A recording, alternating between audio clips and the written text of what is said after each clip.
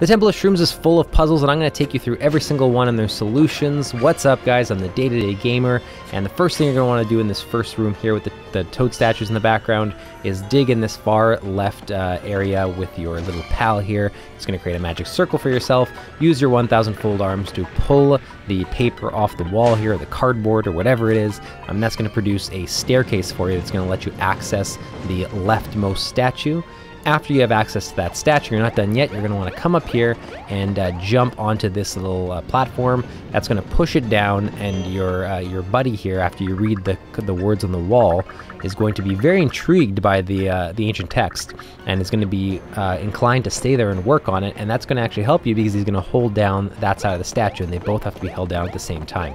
So you come over to the right side now, jump onto that statue, and now with both uh, all the way compressed downwards, the door will open, um, and uh, he won't get he won't get to finish his translation. But you know what? We get to finish our exploring. So that's uh, it's a win-win for us and a lose-lose for him.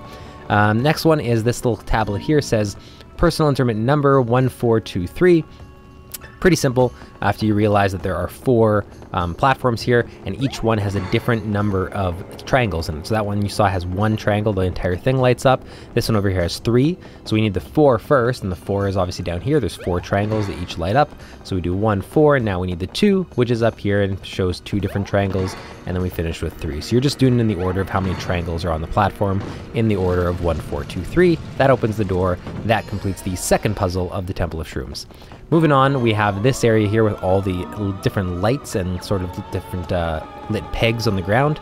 Um, the um, scripture there on the ground talks about a star.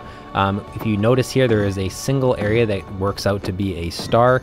Um, so you have to actually create the star with light. So I'd already hit some other lights, so it reset itself. But after you reset everything, you just basically start by hitting every single point on this star right here. As soon as you fill in the entire star, um, that will complete the puzzle. So it's the only area on the ground that actually fully, like, you can actually make out a star with these lights. So it should be pretty easy to see. But if you are having any trouble, it's that one right there.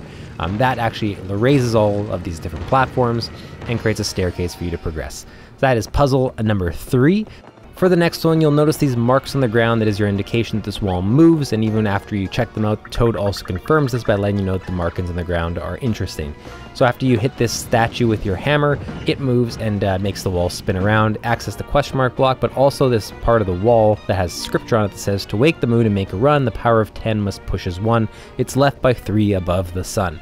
And that's not just a great rhyme, it's also your indication of what you need to do here. So there's this one that's actually moving that's a moon and it's bouncing up and down, and you can certainly open that up, and you'll want to because there are um, some toads inside or a toad inside to save.